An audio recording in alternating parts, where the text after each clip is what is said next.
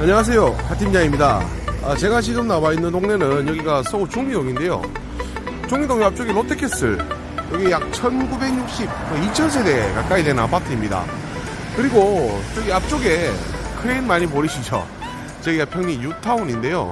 저기는 약 한 8000세대 아파트가 들어오죠. 그리고 그 뒤쪽에는 서대구 KTX 역사도 생겨나는 그런 위치인데요. 오늘은 이 아파트 입구 앞쪽에 위치한 이 상가 건물 하나 보러 왔어요. 주변에 상가 건물 몇 개 보다가 요 건물도 새 건물이고 해서 한번 소개를 시켜봐 드릴까 싶어서 영상 촬영에 나왔습니다.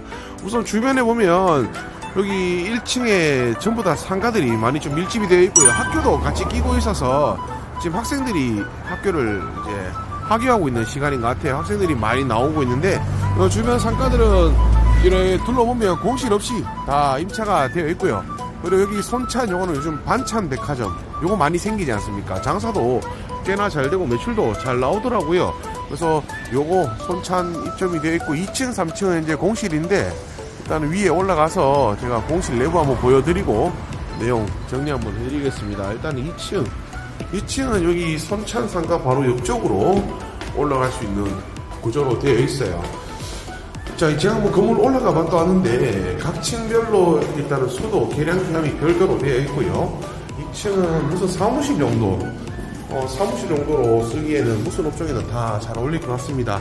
평수는 여기가 한 28평 정도? 이 정도 평수가 나오고요. 앞쪽에 전면적으로는 도로, 도로가 도로 쪽으로 창이 이렇게 나 있고 이제 뒤쪽 뒤쪽으로는 화장실 그리고 건물 뒤편이 건물 주차장이 있습니다. 주차장은 여기 4m 골목 쪽에 건물 주차장이 있는데 그쪽으로 제가 창을 한번 열어서 보여드릴게요. 주차는 뭐 바로 건물 돌아서 들어가시면 아래쪽으로 이렇게 주차할 수 있는 옆집도 건물 뒤편에 주차장이 마련되어 있습니다. 이렇게 건물 주차하실 수가 있고요. 그리고 주변에 둘러보면 아파트가 지어지고 있는 게 어마어마합니다. 그래서 한번 둘러보시면 여기 입지는 아 그렇구나라고 눈에 딱 들어오실 거예요.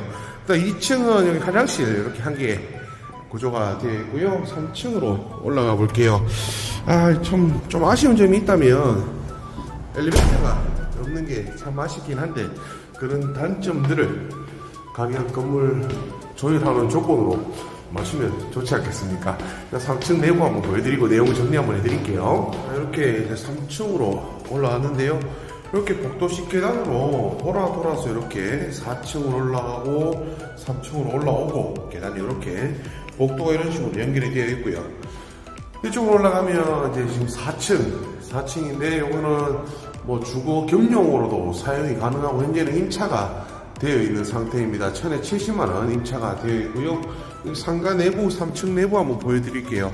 3층도 여기 현관 열자마자 바로 이렇게 상가가 이렇게 이어지고 있고 양쪽으로 이렇게 창이 두 개, 이쪽도 두 개 있는 구조이고 앞쪽으로는 이 도로변 방향입니다.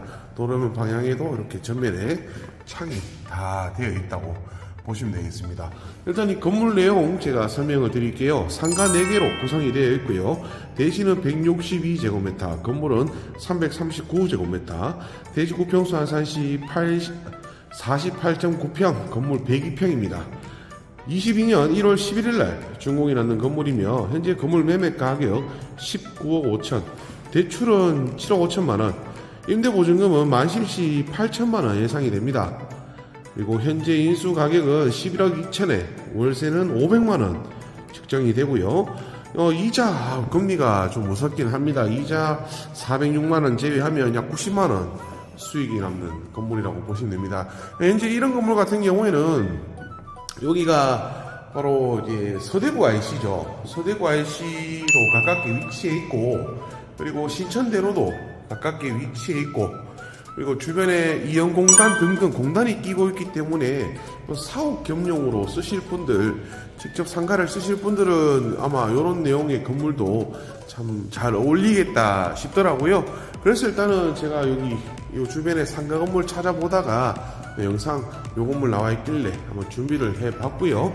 이렇게 앞쪽에 또 서대구 뉴타운, 뉴타운이 또 생겨나지 않습니까? 앞으로도 이쪽의 분위기가 점점 더 밝아지는 그런 위치입니다. 그래서 주변 한번 둘러보시면, 아, 주변에 참 이런 새롭게 지어지는 집들이 많구나.